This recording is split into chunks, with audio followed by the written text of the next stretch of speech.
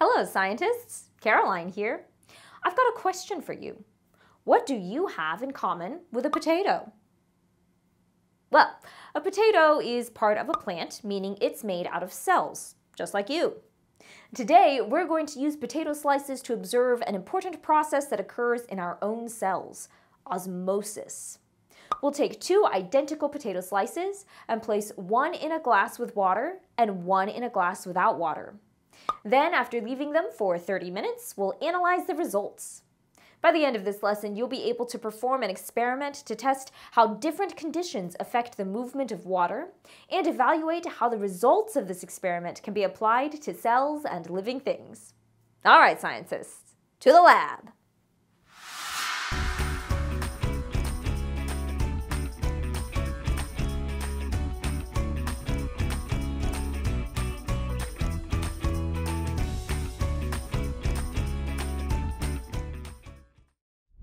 In this video, I'll walk you through some of the activities in this lab, and you'll have a chance to try them on your own at home as we go. Before you continue, pause here to read over the safety information, materials, and lab procedure in your interactive lab notes with a parent or guardian. Make sure you have their permission and all the required materials before continuing.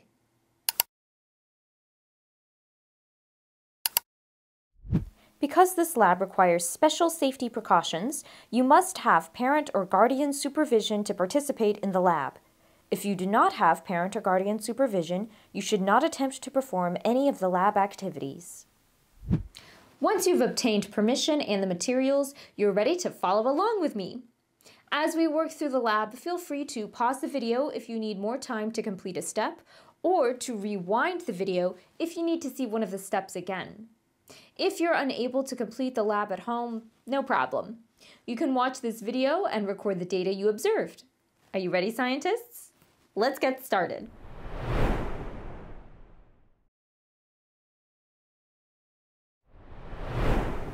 Let's take a moment to get all of our materials organized and ready. I'm going to put on my safety goggles before we begin. It's very important to put on your goggles before you handle any of the lab materials and leave them on for the entire lab activity. Our first material is the star of the show, a potato. We'll be cutting this potato into smaller pieces, so any size will work. To cut the potato, we'll need a cutting board and a sharp kitchen knife. Knives can be dangerous, so make sure to ask for your instructor's permission before handling any knives as part of this experiment. We'll also need two glasses or similar containers, plastic wrap, one paper towel or napkin, and water. If you have containers with lids, you can use those instead of glasses and plastic wrap.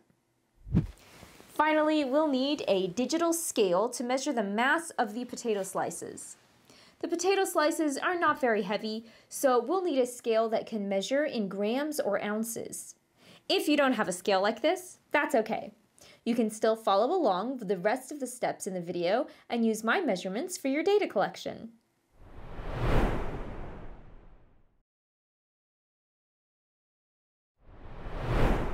Before we move on to our procedure, let's review what we know about osmosis. Osmosis is the movement of water molecules from a solution with a higher concentration of water to a solution with a lower concentration of water across a semi-permeable membrane. Sounds fancy, but water basically just likes to spread out its concentration as evenly as it can. Normally, solutes dissolved in water will diffuse or spread out on their own. This evens out the water concentration without the need for water to move. However, semi-permeable membranes prevent larger solutes from diffusing, creating an imbalance on either side of the membrane. In these cases, the smaller water molecules will move across the membrane instead in an attempt to become evenly spaced relative to the solutes. So, why are we using potatoes in this experiment? Potato cells, like all cells, have a semi-permeable membrane, which means small molecules, like water, can pass through. However, larger molecules, like carbohydrates, cannot. These cells are full of cytoplasm, which is a solution of about 80% water and 20% carbohydrates and other substances. In today's experiment, we will test what happens when we expose a potato slice to water for 30 minutes. As we go through the parts of the experiment, fill in the table in your interactive lab notes. The independent variable is the variable that we are changing to study its effect. What are we changing in this experiment, scientists? That's right, water. That means the presence of water is our independent variable. The dependent variable is the variable that is measured or observed. What do you think our dependent variable is in this experiment, scientists? In this case, we want to observe how water moves through the cell membrane. Water has mass, so by measuring the mass of our potato slice at the beginning and end of the experiment, we can determine if the water moved into or out of the potato cells. Since mass is what we are measuring, the change in mass of our potato slice is the dependent variable. The experimental group is the group that is exposed to the independent variable. In this case, our experimental group is the potato slice placed in water. Our control group is the group that is not exposed to the independent variable. In this case, our control group is the potato slice that is not placed in water. This group acts as a baseline for comparison. This way we can better understand how osmosis truly affected the potato slice left in water. Let's write a hypothesis based on what you know about osmosis and potatoes. If I place a potato slice in a glass of water for 30 minutes, then what do you think will happen? How will the water move? Based on the water movement, how do you expect the mass of the potato to change? Pause and record your hypothesis in your interactive lab notes.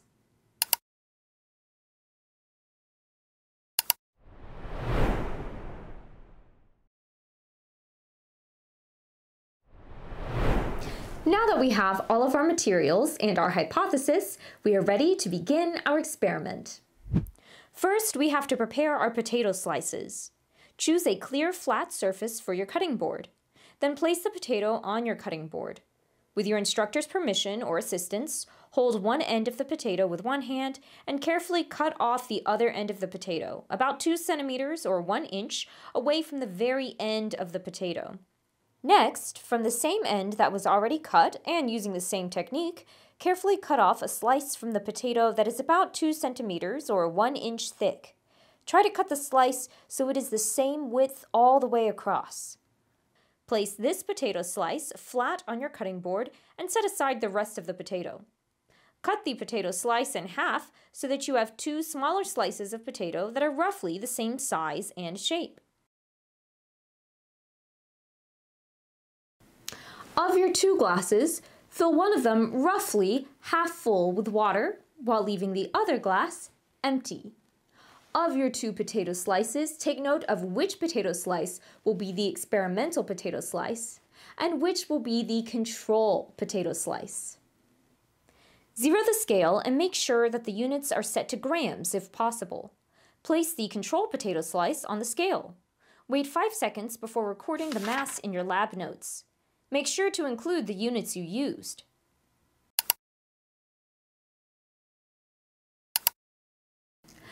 Place the control potato slice in the glass without water. Zero the scale and then place the experimental potato slice on the scale.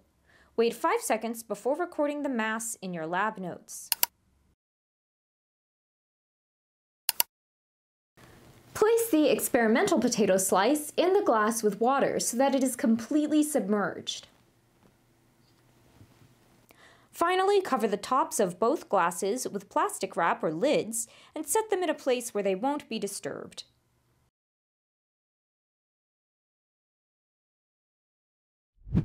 Once you've done that, you've completed the procedure for part one of this lab. We'll complete part two of the procedure after waiting for at least 30 minutes. In the meantime, make sure to complete the follow-up questions for part one in your interactive lab notes. Pause the video for now, and you'll be able to pick up where you left off in a little bit.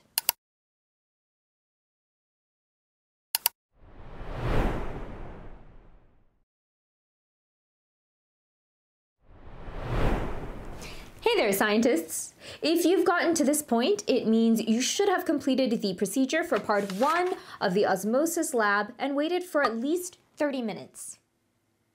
If not, make sure you have completed those steps before moving forward. If you've completed part one and are ready for part two, you're in the right place. Let's get started. In part one, we left one potato slice in a glass of water and the other slice in a dry glass. Now remove the plastic wrap or lids from the two glasses and observe the potato slices, recording your qualitative observations in your lab notes. What I've noticed is that the experimental potato slice looks a little larger than the control potato slice. When I feel the experimental potato slice, it feels firmer than the control potato slice. When I feel the control potato slice, it feels flimsier and a little bit slimy. Zero the scale and then place the control potato slice on the scale. Wait 5 seconds before recording the mass in your lab notes. Then set the control potato slice off to the side. Place a paper towel on the scale. Then, while the paper towel is still on the scale, zero the scale. The paper towel's purpose is to protect the scale and hold water, but we don't want to include the mass of the paper towel in our next measurement. Carefully remove the experimental potato slice from the water, letting any excess water fall back into the glass. Place the experimental potato slice on the paper towel on the scale. Make sure to wait 5 seconds before recording the mass in your lab notes.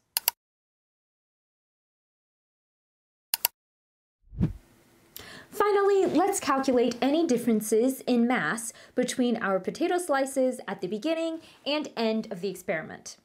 If we take our final mass of the potato and subtract the initial mass, that will give us the difference.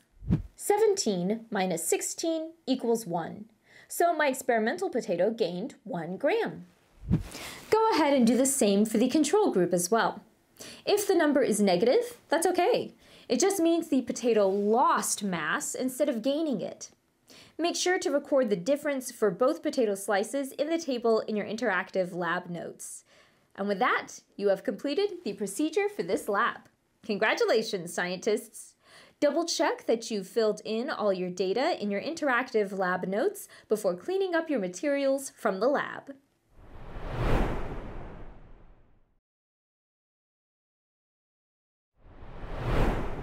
Analyzing evidence to draw conclusions is an important part of the scientific method.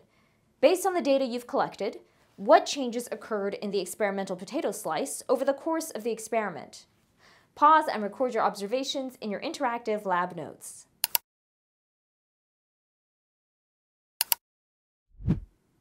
In the experimental group, the potato slice grew in size.